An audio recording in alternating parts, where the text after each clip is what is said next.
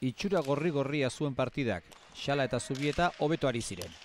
Zehat zerrematean likuinekoa eta oso sendo atzean etxarrikoa.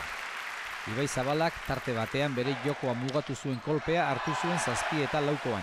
Eta oinaz bengoetxeak etzekien nola jokoan sartu aurkariak agintari zirelako. Markagailuan amazei eta zortzi ere izan ziren aurretik aspekoak, baina pilota-pilota da. Eta oinatz eta Ibai Zabala azken atxa eman arte lanean aritzen diren horietakoak. Eta partida era bat aldatu zen. Asko gatu dute, sake bueltetan pues, oso ongi eh, joatu du eta gero ustez Ibai ere pixkana pixkanaka sartu da partiduan eta, eta azkenean pues, esan partidu gogor duinda Oinatz bikain aritu zen bai, bederatzi egindako galdutakorik ez, baina garaipena xala eta zubietarentzat izan zen azken hiru tantoak errezkan lortu zituztelako, emeretzi eta hogei atzetik izan eta gero. Beraz, zazpigarren puntua xala eta zubietarentzat, eta zailkapena gertu. Lau punturekin oinatzek eta ibaik oso aukera gutxi dituzte.